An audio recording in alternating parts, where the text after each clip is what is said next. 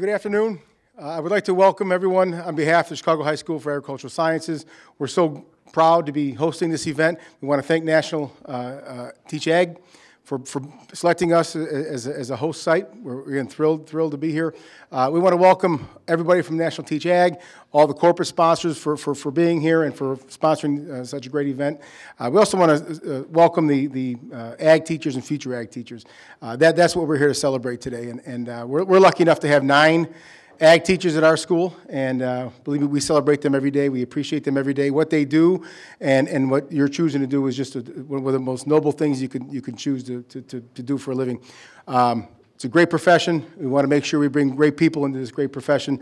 And, and ultimately, we're all here to serve the same purpose, and that's provide great opportunities for our great kids. So, uh, welcome here for the day. We, um, uh, are, again, are very glad to have you. Uh, glad to see the uh, uh, people on, on Facebook that are watching. Please follow along with us. Uh, it's, it's a great place. Uh, I'm a little biased, but, but it is a great place to be, great place to teach ag. And uh, again, we want, just want to welcome everybody here for, for what is going to be a great day. And uh, again, thank you for choosing this profession and uh, providing great things for, for students. So